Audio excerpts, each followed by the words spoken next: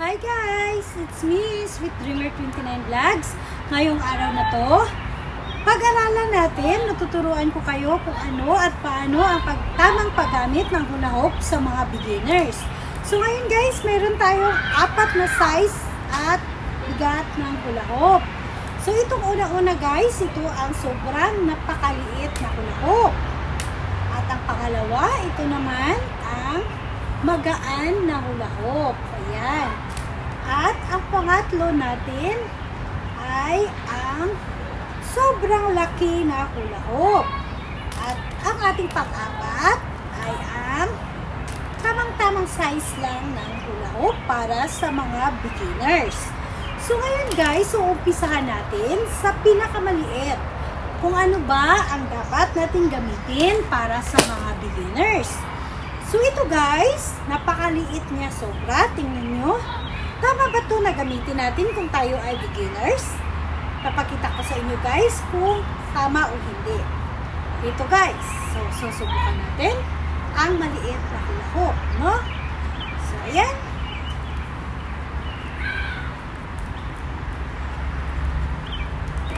Ayan ang mangyayari guys pag sobrang liit ng ating hulahok na gagamitin. So, ang maliit na hulahok guys ay hindi dapat sa mga beginners. Ayan, kasi kailangan natin bilis, bilis, bilis, bilis, bilis na pag-spend ng ating katawan para umikot siya. Pero hindi pa rin kasi sobrang liit, hindi siya gata. So sa mga beginners, huwag kayong gumamit ng sobrang liit na hula hoop.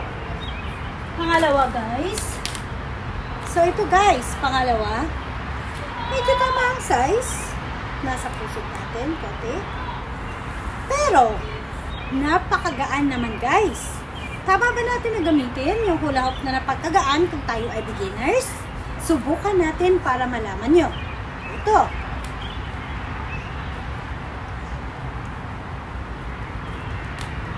Hindi din guys. Kasi sobrang gaan. Hindi siya, kung ikaw ay beginners, hindi mo siya mapapaikot ng tama sa iyong katawan kasi sobrang gaan niya. So, huwag kayong gumamit ng napakagaang hula hoop kung kayo ay beginners, na? So, ayan, yung pangalawang hula hoop natin. Yung pangatlong hula hoop natin, guys, ito yung pangatlong hula hoop natin. Napaka laki. Ayan. Tamang-tama lang yung size niya. Nasa 1.9 uh, yata. 1.9 na size yata nito. Wait. Pero napakalaki niya, guys. Napakalaki. So, susubukan natin kung tama ba itong gagamitin ng mga beginners, no? So, ito guys.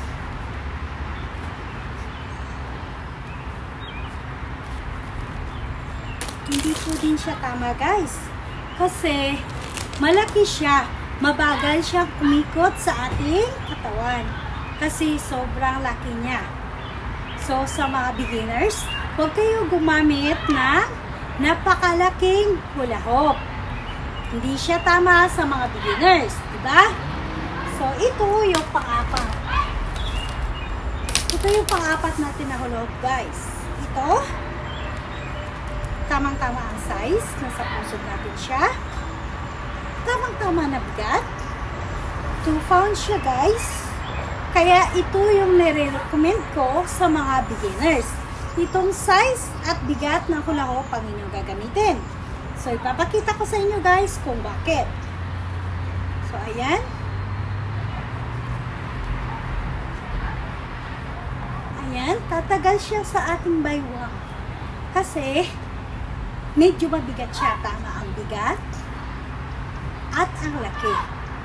So, ito yung dapat sa mga beginners. Sa mga beginners na gusto matuto magulaog, ito yung size na nare-recommend ko sa inyo at ang bigat. 2 pounds na hula hoop at tamang-tama lang yung size sa ating belly button. Yan po yung dapat sa mga beginners. Ayan guys. So, ayan guys, dahil nakapili na tayo ng tamang hula hoop para sa ating mga beginners, tuturuan ko kayo kung ano ba ang dapat at tamang pag-spend ng hula hoop sa ating katawan. So, ito na guys. Tara! Unang-una guys, kailangan natin ng body contact. Ayan. At nasa gitna. Diba? Kasi guys, kung hindi nakabody contact yung ating hula hoop sa ating katawan, hindi siya mag guys. Hindi siya iikot ng tama. So, ipapakita ko sa inyo, aking sinasabi ha, na hindi siya nakabody contact. Ayan. Ayan guys, hindi siya magtatagal sa ating katawan. Mahuhulog siya kagad. Yun ang sinasabi ng iba na, hmm, sa akin, isang ikot lang wala na. Yan ang mangyayari guys kasi hindi po tama ang kanilang paggamit ng hula So, ituturo ko sa inyo ang tamang pag-spin ng hula sa ating katawan. So, ganito yun guys. Kailangan body contact. Hindi din siya sa taas, hindi din siya sa baba. Kailangan nasa gitna siya. Imagine yung ating belly button. Nandyan po siya guys. Nasa gitna. Imagine natin yung belly button natin sa likod. Diba? Ayan. Kailangan nasa gitna. Diba guys? Nakita nyo, nasa gitna siya. So, ayan yung tamang pag pag-contact ng ating hula hoop. Body contact na ating hula hoop sa ating katawan. So ngayon guys, ang paa naman natin, kailangan hindi siya muna nakakipot.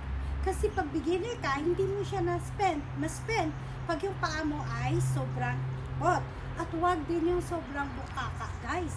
Kasi hindi mo rin siya ma-spend ng tama kung nakabukaka ka rin ng sobra.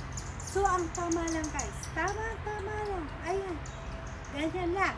Tapos guys, paramdaman nyo ito yung inyong be uh, belly. Um, malaki yung stomach.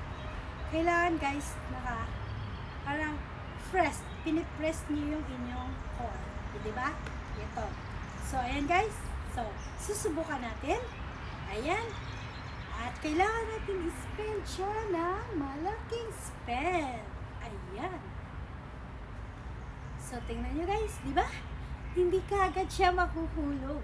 So, ganyan ang tamang pag spend ng hula hoop sa ating katawan. Kailangan natin may body contact sa ating hula hoop. Hindi yung i-spend natin na parang wala lang. Ganyan siya guys. So, di ba? Tatagal talaga siya. At yung pag-move ng ating katawan, pasimple lang. Hindi siya sobrang ano din move kasi pag sobra-sobra din yung move nyo, hindi na alam kung saan pupunta yung ating globe, di ba? Aakyat, bababa, di ba? So, kailangan, yun lang. Yun lang, guys. Di ba? So, kung gusto nyo naman, guys, na i-move yung, yung mga paa, ganito, step forward lang, guys. Step forward yung ating right foot. Ayan. Ganun pa rin. Diba?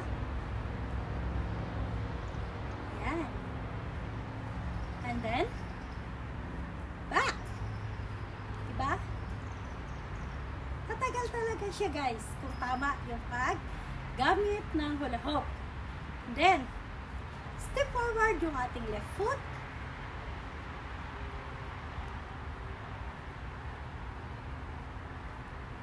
Ayan. And then, back. Diba? So, yan guys, sa mga beginner, yan lang yung ating gagawin. La, yan lang yung tamang pag gamit ng hula hoop sa mga beginners. Diba guys? So, sana matuto na kayo. At next time, kayo naman yung makikita kong maghuhula hoop. Diba? So, sa mga hindi pa marunong dyan, tara guys, pag-aralan na natin ang tamang pag gamit at tamang hula hoop, tamang pag-spend ng hula hoop sa ating katawan. Maganda to sa ating body guys. Napakagandang exercise. So, thank you so much. Thank you so So, ayan lang muna sa ngayon guys.